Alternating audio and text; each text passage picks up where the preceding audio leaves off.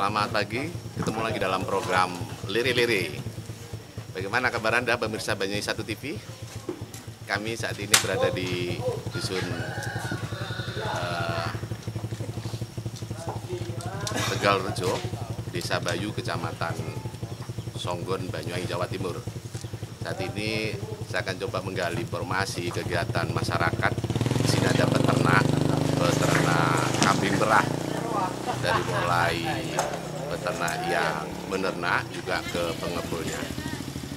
Eh, selama pandemi ini, kegiatan masyarakat di tengah pandemi atau usaha jenis kambing perah ini tidak ada gedala, bahkan permintaan di luar daerah cukup meningkat.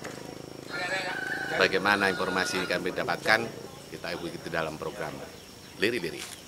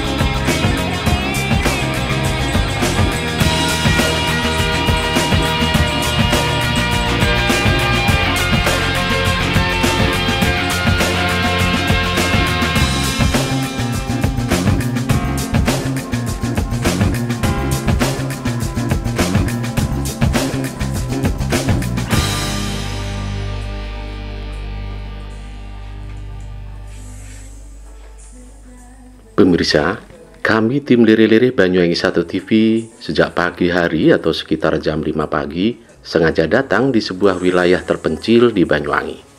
Tepatnya di Dusun Tegalrejo, Desa Bayu, Kecamatan Songgon, Kabupaten Banyuwangi, Jawa Timur.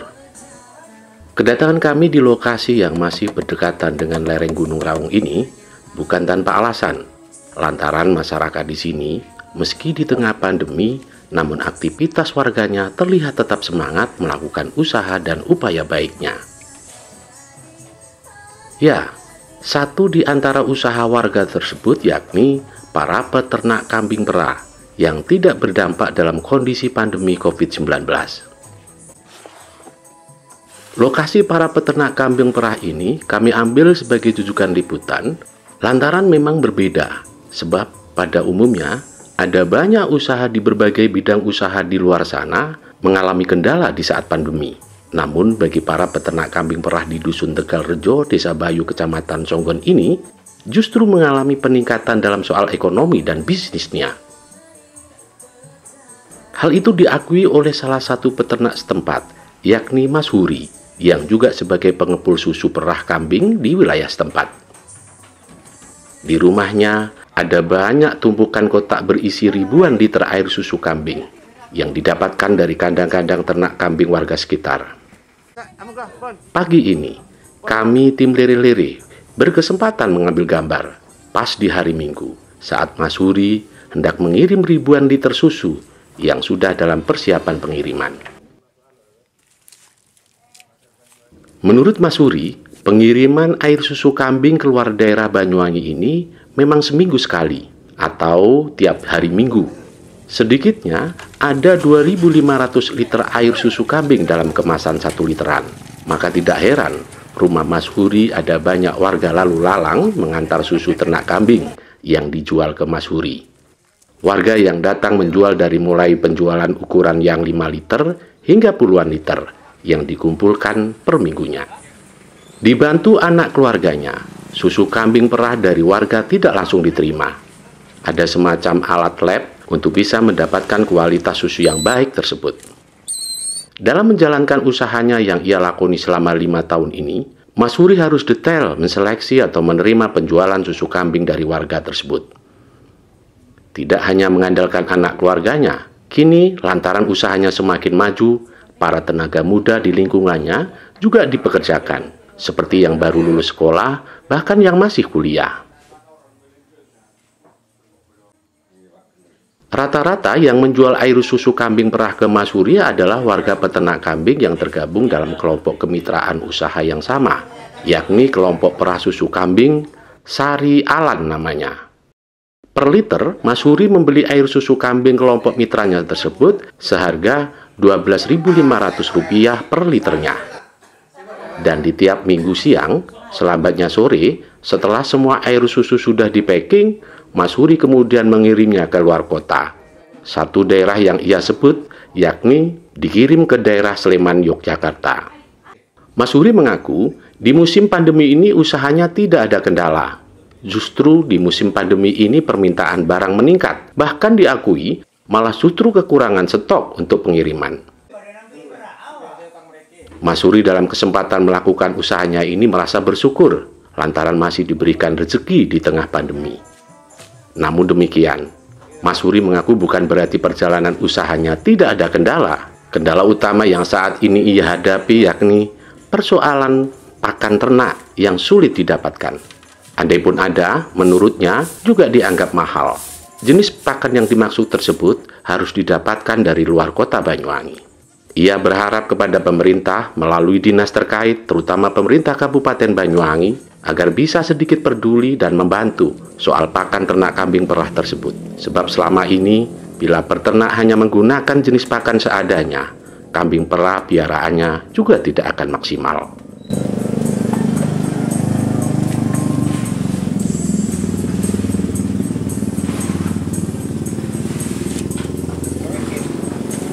Sudah lama melakukan usaha kambing perah ini? Uh, mulai sejak tahun 2015 bulan 7.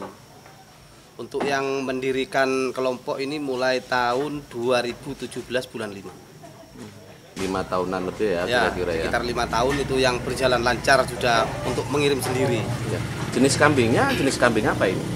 Uh, kalau punyaan saya itu kambingnya pakai kambing lokalan PE peranakan etawa hmm. sejenis yaitu englan hmm. etawa itu punyaan saya. Terus apa lagi? Ya ada sebagian punyaan mitra-mitra itu yang namanya kambing sapera itu. Sapera itu kan pejantan sanen eh, induknya itu kambing etawa itu jadi sapera. Jadi apa untuk meng, mencari produksi yang lebih tinggi yang lebih banyak itu jadinya di silang itu susunya jadi besar. Biasa dapat 4 liter gitu. Perawatannya bagaimana? Bisa ya. disampaikan. Untuk perawatannya kalau gimana ya? Pertama itu ke kebersihan. Kalau tempat bersih kambing mungkin kan sehat. Jadi yang kedua dari pakanan. Yang ketiga dari perawatan itulah. Kambing itu sebetulnya kan butuh kasih sayang seperti apa ya manusia juga. Kalau kambingnya itu tempatnya bersih makannya tidak kurang pasti susunya lebih banyak gitu. Tapi kalau kambing itu sekedar cuma dikasih makan habis itu tidak disapu tempatnya cuman ditinggal pulang. Ya nggak lama. Untuk pemerah itu kambing satu itu paling yang bagus 8 bulan sudah ganti sudah habis tapi kalau memang perawatan itu bagus seperti ini loh punya saya yang ini. Ini yang uh, mulai tahun 2015 bulan 9 cukupnya kambing saya kalau makanannya dari bahan di sekitar sini atau seperti apa? Kalau daerah sini itu makanannya ya seperti kaliandra putih kaliandra merah lirisidi sengon. Ya ada itu kalau ada musim tebangan itu daun damar itu di perutani itu kalau ada musim tebangan kalau nggak ada ya cari-cari di kebun-kebun sendiri tuh seperti liriside, kaliandra gitu. Ada kesulitan enggak untuk bahan makanan? Nah, itu yang saya perlu dimusyawarahkan untuk masalah pakan ternak di Banyuwangi ini tidak bisa menyiapkan seperti apa namanya konsentrat itu ngambilnya pasti luar kota. Kalau enggak Sidoarjo itu di Jember di Ambulu itu. Jadi untuk wilayah Banyuwangi ini kesulitan pakan. Jenis pakan apa itu yang dianggap sulit untuk di Ya seperti konsentrat itu. Yang bisa di sini menyediakan Banyuwangi ini cuman masalah polar, ampok jagung itu. Jadi seperti bungkil sawit itu enggak ada di sini. Untuk seperti DDGS itu enggak ada. Itu yang jadi kesulitan. Jadi bisanya untuk Banyuwangi ini bisanya untuk menyediakan polar sama ampok jagung. Selain itu enggak ada. Jadi kalau misalkan hanya memberikan jenis makanan yang ada di sini aja tidak maksimal ya dari peran kambingnya ya. yang nggak maksimal kekuatannya itu satu tahun itu sudah lama kalau cuma mengandalkan pakanan Banyuwangi itu seperti ramban gitu.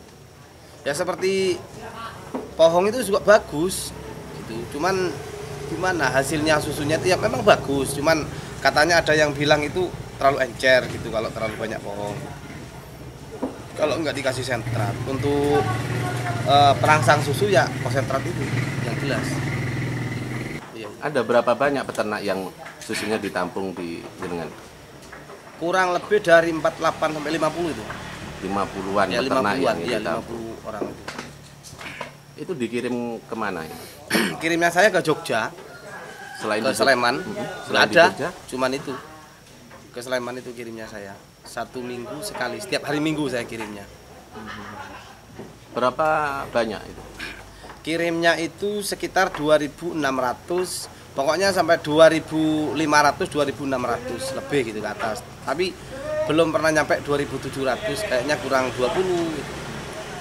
Selama pandemi ini hampir 2 tahun ini Apa- Alhamdulillah itu kalau mulai pandemi itu kalau susu kambing itu selalu lancar kekurangan susu ada peningkatan atau stabil seperti itu?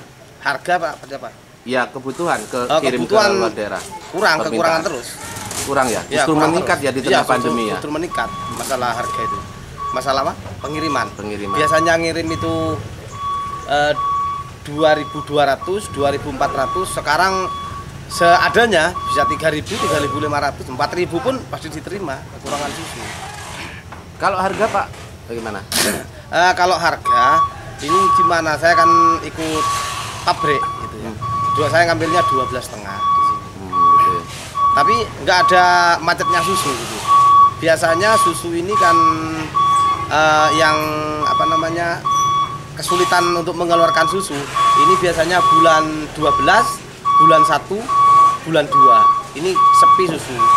Tapi punyaan kita kita semua mitra-mitra di sini itu disapu bersih terus. gitu. Itu senangnya saya untuk masalah apa ya ikut yang harga biasa tapi terus ngambilnya itu nggak ada buangnya susu gitu Kemudian ada jenis enggak Pak? Jenis susu yang diterima Pak Muzari? ya ada nanti kalau susu itu pecah itu nggak diambil darah nggak diambil nanti kan ada labnya di sini kan untuk menyediakan lab waktu ngambil itu sudah ketahuan kan sama yang bertugas di sini sudah tahu Jadi selektif ya. Iya, Tetap iya. menggunakan alat untuk bisa me, apa istilahnya kadar susunya seperti itu ya Pak. iya iya iya Secara umum usaha ini eh, bisa dilakukan terus atau bagaimana ini mungkin ada gambaran-gambaran? Insya Allah kalau katanya bos saya yang di Jogja Pak Agung itu susu ini nggak ada macetnya. Soalnya ini kan seperti apa namanya ya sembako. Nggak ada putusnya. Nah, tujuan kami ini kan saya sering tanya sama pabrik ya gimana susu? Makanya suruh nambah terus itu. Produksinya ditambah untuk mensejahterakan masyarakat dusun Tegalrejo sini. Jadi bisa diandalkan usaha kambing perah seperti ini ya Pak. ya ya? alhamdulillah alhamdulillah bisa diandalkan sudah pemuda-pemuda dusun Tegalrejo sini sudah mulai menambah terus yang yang lulus-lulus SMA itu Mhm. sudah berapa orang itu sudah mulai ikut perah gitu. Eh, diharapkan membantu apa yang menjadi kendala peternak, terutama mungkin daerah Songgoni ini. Mungkin Iya. bisa disampaikan. Saya pengennya saya itu minta apa ya butuh bantuan dari segi apa namanya pakan. Banyuwangi ini yang katanya saya tadi itu kesulitan pakan. Cuman itu harapan saya untuk para eh, pemerintah Banyuwangi yang saya butuhkan untuk apa ya bisa membantu kesulitan pakan Banyuwangi. Mungkin tidak cuma mitra kita di sini, juga di Banyuwangi ada, di Kalipuro juga ada, di mana-mana ada. Daerah selatan itu Tegal Delimo ya ada. Mayoritas itu kesulitan pakan. pakan. Iya. Mungkin bisa didetailkan jenis apa pakan itu, Pak? Ya dari konsentrat itu. Iya. Seperti konsentrat itu kan apa namanya ya? Di sini nggak ada, Pak. Pabriknya nggak ada. Artinya kalau tanpa konsentrat itu tidak maksimal ya kambing perah ini untuk diambil susunya seperti Nggak, itu. iya, maksimal kalau baru melahirkan satu bulan dua bulan itu maksimal. Cuman kalau langkah ke depannya itu eh, kekuatannya 8 bulan habis kayaknya.